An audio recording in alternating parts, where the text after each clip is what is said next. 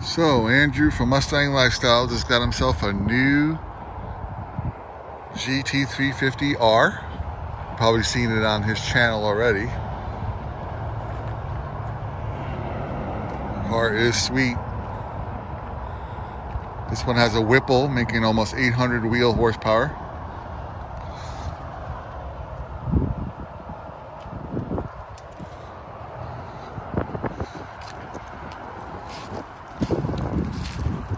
Definitely a nice ride.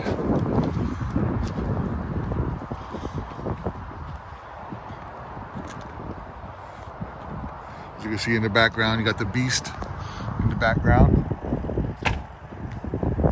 Just took a ride out here to get some pictures, a little bit of video.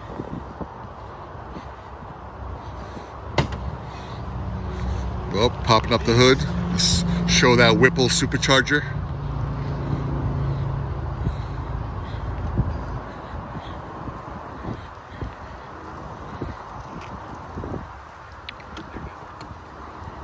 That's heavier than everywhere. Whoa.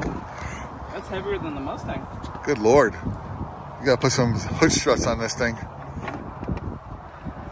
Get rid of that pop rod.